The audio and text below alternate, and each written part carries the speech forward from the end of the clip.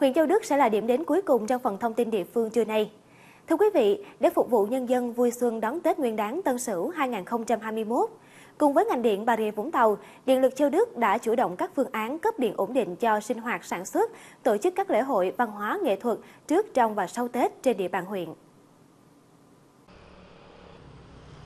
Để cung cấp điện ổn định phục vụ sản xuất sinh hoạt cũng như các hoạt động mừng đáng mừng xuân Tân Sửu, từ hơn 3 tháng qua, Điện lực Châu Đức đã đẩy nhanh tiến độ các công trình lưới điện quan trọng,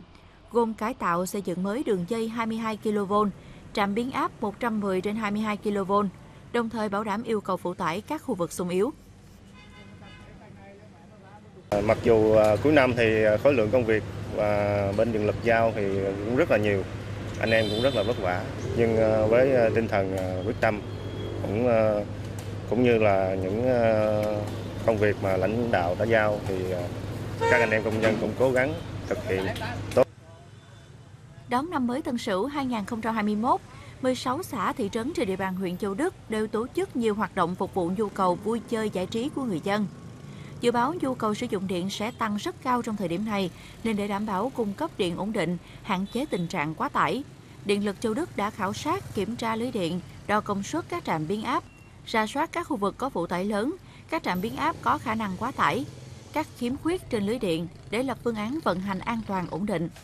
Điện lực Châu Đức cũng chuẩn bị vật tư, thiết bị, phương tiện dự phòng sẵn sàng thay thế khi xảy ra sự cố. Duy trì trực 24 trên 7 để xử lý kịp thời các sự cố cháy nổ, mất điện cục bộ. Thì à, Điện lực Châu Đức của chúng tôi á, đã triển khai à, thứ nhất là lập phương án cấp điện ổn định cho cái à, tất cả địa bàn trên địa bàn huyện cho nhân dân phục vụ cũng như các đơn vị sản xuất kinh doanh. Thì chúng tôi đã triển khai tổ chức tổng kiểm tra lưới điện trên địa bàn tổ chức ờ, khắc phục những tồn tại khuyết tật trên lưới điện đang xử lý thì dự kiến trong khoảng tuần này là, là xong.